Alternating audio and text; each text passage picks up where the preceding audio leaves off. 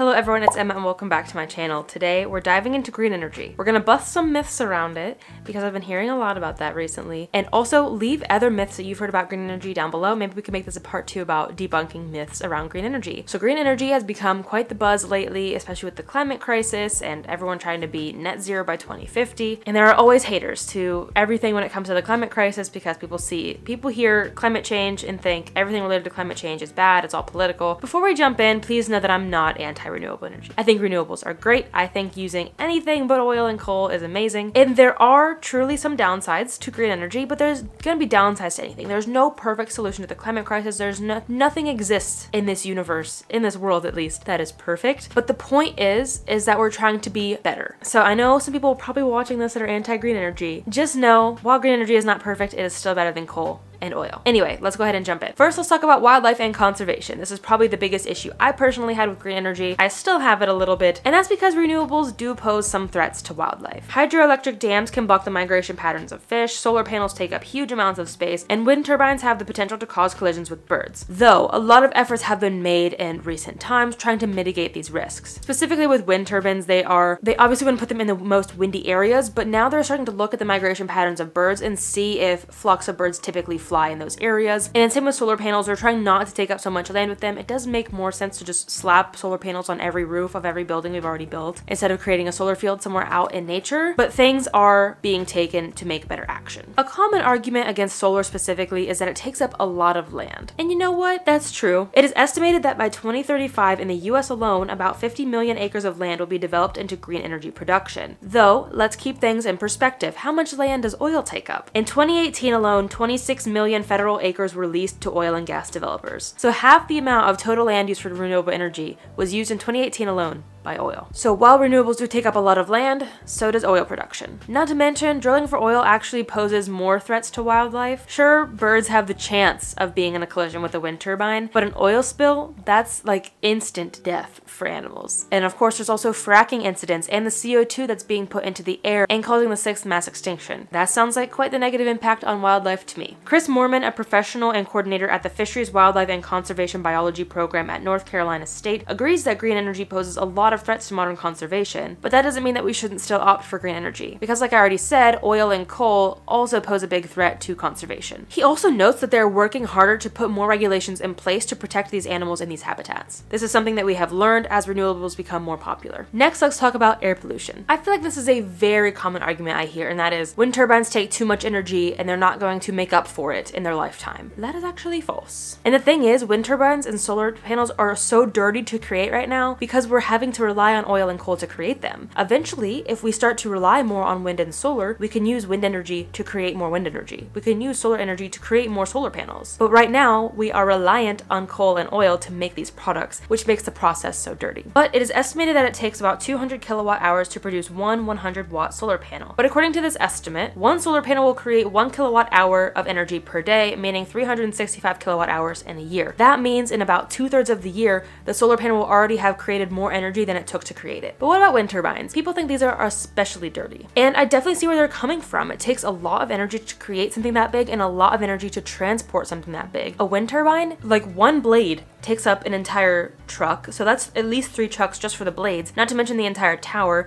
It probably takes anywhere from 3 to 10 semi-trucks to transport one wind turbine. But again, the less and less that we rely on fossil fuels to run our vehicles, the less impact this will have on the planet. It is estimated though that offshore wind turbines can pay for their energy debt and be carbon negative in 5 to 12 months, while onshore wind turbines can be carbon negative in 2 to 24 months. So it is a little bit longer than solar panels, but still, 2 years or less to become carbon negative, I think that's pretty good. And at least with renewables, there's a chance to be clean. With oil and coal, there's no chance for that to be clean. So I don't really see this argument. I don't I don't see how this is a good argument. But what about the physical pollution? What do we do with those solar panels and those wind turbines when they're no longer being able to be used? I definitely get the concern, but at the same time, we're not recycling oil rigs. We're not recycling gas stations and nobody seems to care about that. That being said, older wind turbines are not recyclable and they are huge. So they do take up a ton of landfill space. Very bad. People saw this as a bad thing and they're starting to create recyclable wind turbines. It's similar to plastic. A plastic water bottle is not going to be turned into a new plastic water bottle. It's going to be downcycled.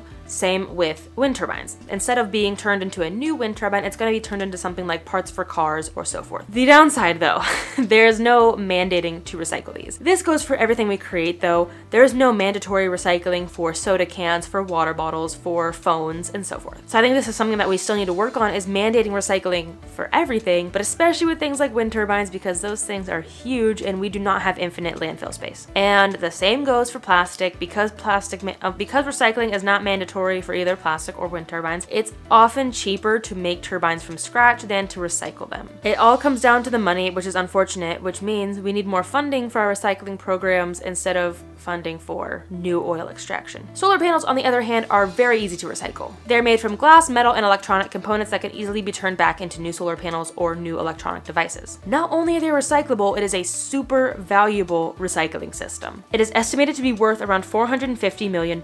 This also makes solar panels even more eco-friendly because recycling the old ones takes a lot less energy than mining for new materials. Now, let's move on to nuclear waste. This one I still have issues with, but yet it's still cleaner than coal and oil. I think it's really funny though that people have issues with solar and wind, but no one seems to have an issue with nuclear energy. I don't know. It just it just seems weird to me. To me, nuclear energy poses many more threats than solar and wind. So nuclear is considered green energy, considered clean energy because it burns clean. When nuclear energy burns, there's no emissions or very, very few. But like with coal and oil, nuclear waste is also not a renewable resource. Technically, it is over like probably millions of years, just like oil is, but at the rate that we're extracting it, we're gonna run out. And then the biggest issue is obviously the nuclear waste that comes with nuclear energy. The waste can remain harmful for humans and wildlife and plants for thousands of years. It requires very strict handling, storage, and proper disposal methods. When we're thinking of nuclear energy, nuclear waste, we're not quite seeing the fallout that happened at Chernobyl or Fukushima or something like that. It is definitely less potent once it has been properly used,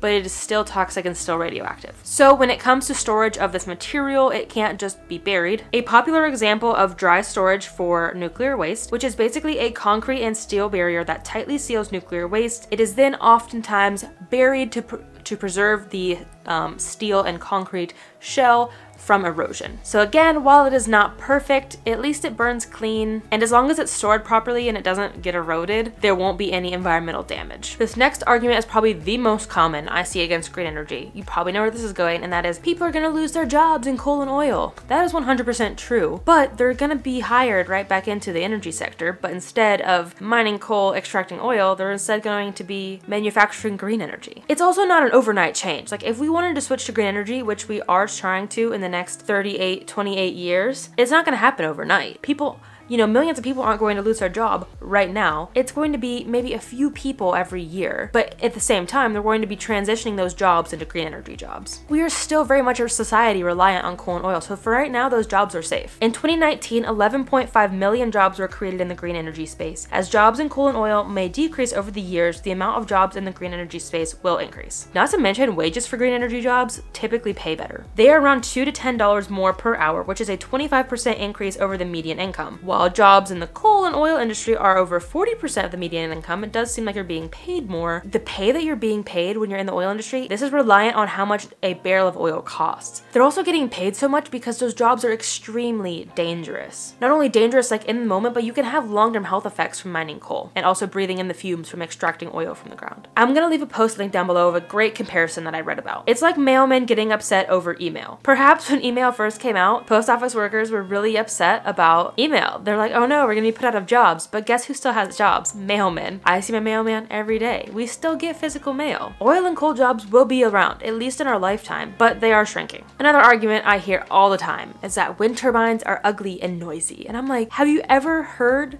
an oil rig, an oil extraction site? They are also ugly and noisy. Plus, I don't know about you, I love wind turbines. Ever since I was a kid, I loved seeing them when we would drive across the country. I think they're so cool. Maybe that's just me. But have you ever driven across West Texas? Oil everywhere. It's so ugly. And also the noise thing, I've never understood that. I've never heard a wind turbine before. If a wind turbine was in the residential area, you probably would be able to hear it, but most of the time they're out in the countryside. They're out in the fields of Kansas. There are rules in place though that they can be placed no closer than 300 meters or one quarter of a mile to residences. But from that distance, a wind turbine would produce sound at about 43 decibels. To put that in perspective, an air conditioner is about 50 decibels and a refrigerator is about 40 decibels. So if you run your air conditioning, that's louder than a wind turbine. It would be a constant hum, sure, but it would be no more than the noises we're used to hearing. I have a road right behind my house. I hear cars all day long. My air conditioning, my refrigerator, my computer, I hear it right now. So I don't really see this as a good argument in our world. If you live in a city, you're always hearing noise. The last one for today is that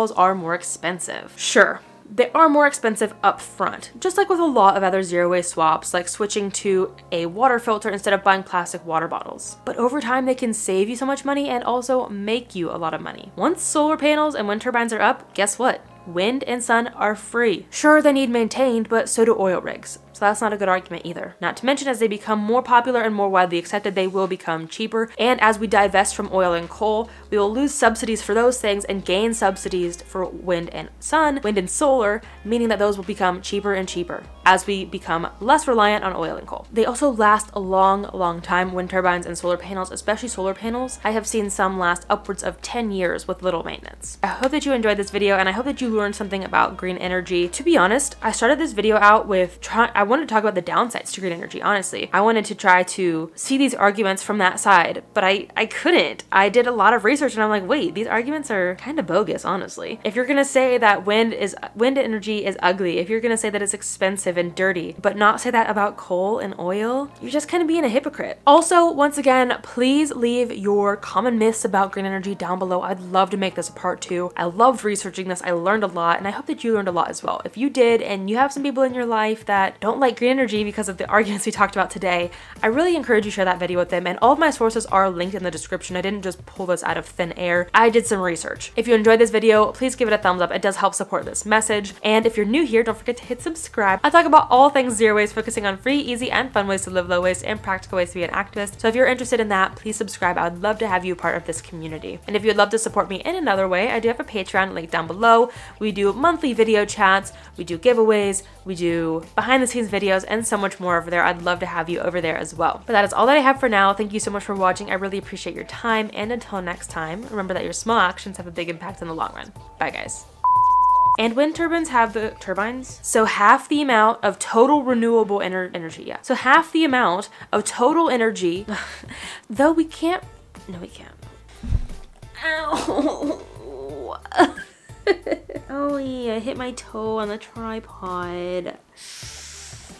That really hurt. I talk about all sorts of things focusing on zero waste. All things zero waste. I talk about all sorts of things focusing on, I talk about all sorts of things focusing on free, all things zero waste. There it is. Okay.